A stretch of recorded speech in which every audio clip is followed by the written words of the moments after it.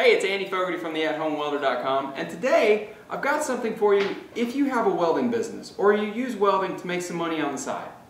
I'm going to show you some great techniques on how you can get more local business to grow your business and do it on jobs that you want to do and not have to take those jobs that you really don't want to. So I'm going to give you some great ideas, some great concepts on how you can do that really quickly and inexpensively. Now, I know this is a big question that is always asked by a lot of mom and pop shops, you know. Uh, this is something that we dealt with when we were growing our business from the start was how do you bootstrap? How do you go out and find those customers? Or not just customers that you really want, but any customers. Well, we struggled with this for a long time and it, we struggled with taking work that just, it didn't inspire us. It, I mean, it paid some bills, that's great, but that's all it did. It didn't make us really love the work that we were doing. And if you're owning your own business or doing work for yourself, that's kind of the point, right? Is to love what you're doing and love the projects that you're working on. So the trick is finding people who are willing to pay you for those projects. Well, this is what we came up with and what we've used to do that. Making models, making mini versions of things.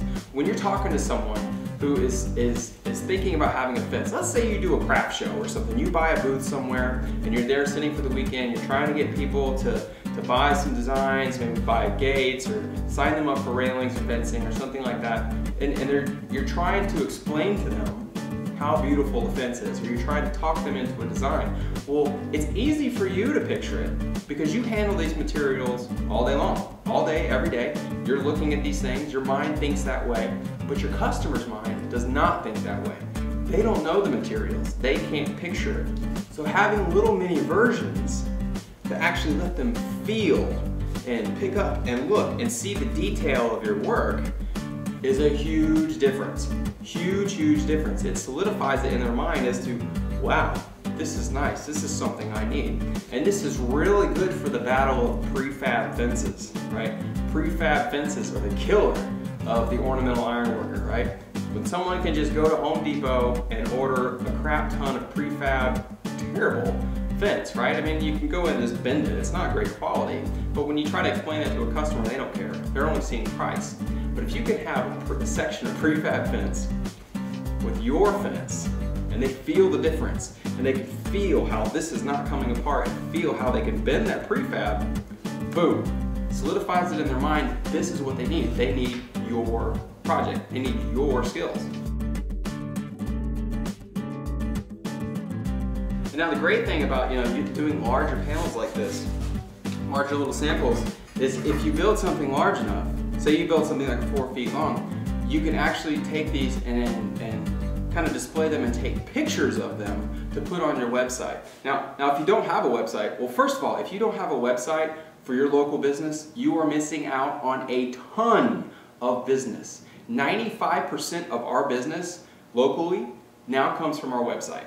Now, if you don't have a website and all that seems just incredibly overwhelming to you, don't worry, I've got something I'll share with you just a little bit just to make that really easy and a no-brainer for you. So I hope this inspired you to make some cool little models and be able to get out there and actually get people to get their hands on your craftsmanship to, so you can get better, cooler jobs. Now, you know, first, go to kingmetals.com and click on the design concepts. Now, when you go through there, the thing is chocked full of just beautiful, amazing designs. Things I wouldn't even think of on how you can use all of their components and to piece something together really, really amazing. And the, the beautiful thing about the design concepts catalog is it actually gives you the item number of each little component. So like, you know, whether it's a spiral or whatever, a swirl, it's a C-scroll, whatever, it actually gives you the item number so you can get it, find it really easily on kingmetals.com. Now I mentioned before about having a website. Now I know a lot of times if you're not web savvy, that is overwhelming. The thought of having to have a website is like, what? I, I don't know what to do. I don't even know where to start. I'm doing good just to Google something. Well, that's why we're going to start a service at theathomewelder.com just for welders. We're going to call it Websites for Welders. And it's going to be very, very inexpensive. And we'll also have a service to where we'll actually update the thing for you. Now, if that's something that you're interested in and you want to use a website to skyrocket your local business, well, let us know in the comments below or come on over to theathomewelder.com. Let us know there and we'll let you know about when that service is going to be available and all the details involved in it. It's gonna be great. It's gonna be really, really great. So I'm Andy Fogarty from theathomewelder.com and I hope you were inspired by today's video and I will see you next time.